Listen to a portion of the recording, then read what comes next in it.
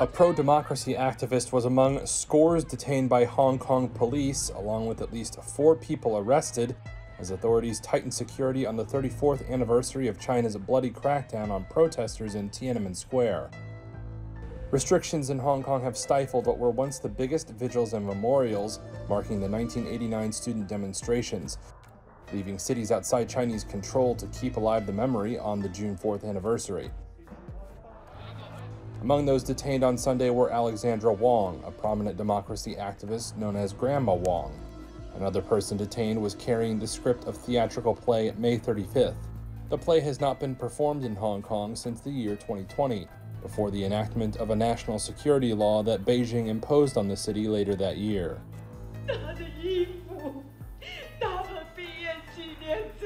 The play tells the story of a husband and wife dealing with the loss of their son who was killed when troops opened fire on democracy protesters in and around Tiananmen Square 34 years ago.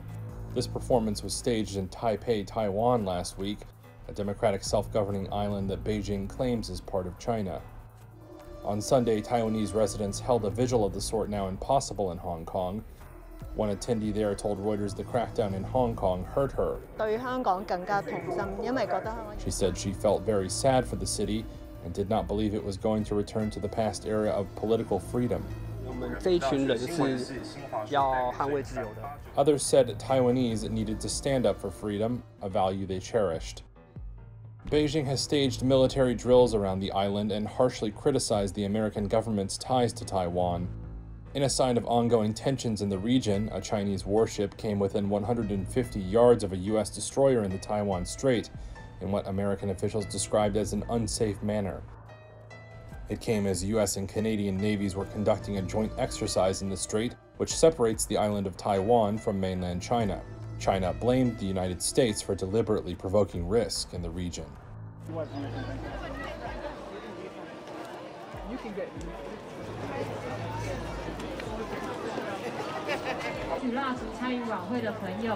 You can get 可以在我们台灯区前方领取。按指挥官若干团，包括从背后冲入学生队伍的大量坦克，幺零幺号、幺零六号。想要了解历史事件。I'm here to understand more about the history, where many people were persecuted because they were fighting for freedom. I think freedom is something that was fought for. The reason why we can speak freely now is because our ancestors had fought for it. That's why we need to remember the history. But we also have to be cautious. We should not allow democracy and freedom to be infringed again. 又又被侵害了，这样。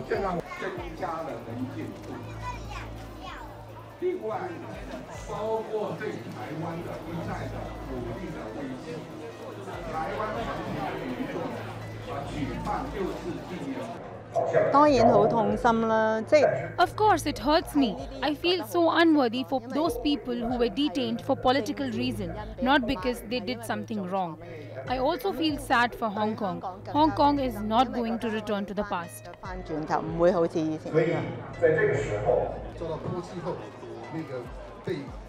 黑漆啊，全部是高师傅的。谢谢大家说过，他主旨都是悼念。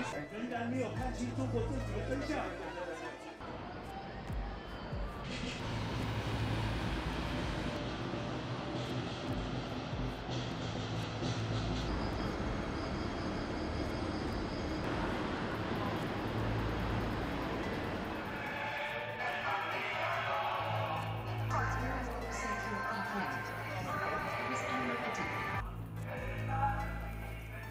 天安门母亲的七个故事，国内七个死亡者的故事。最后的一家公营的电台在今天重新做报道说，北京市内的死亡人数。We are students from mainland China.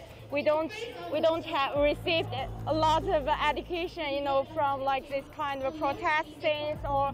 Uh, um, political things. So uh, we have to self-learn this kind of uh, things, and we have to uh, to remove, to erase our uh, afraid of uh, our government to doing this kind of thing. Yeah.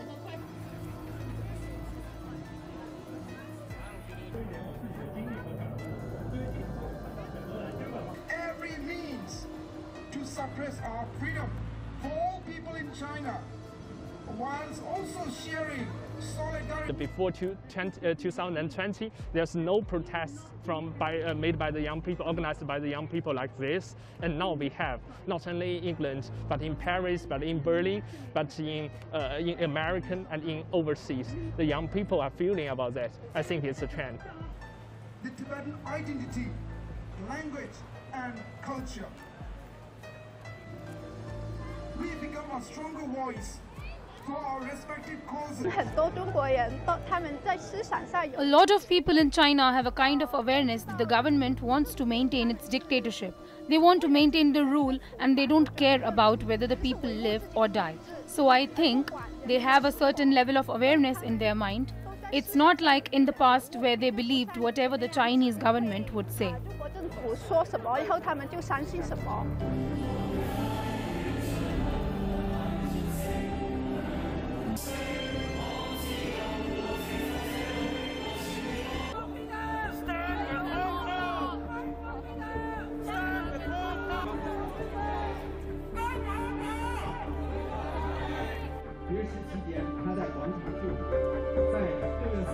是所有的死难者，但是这是一个珍贵的历史记录。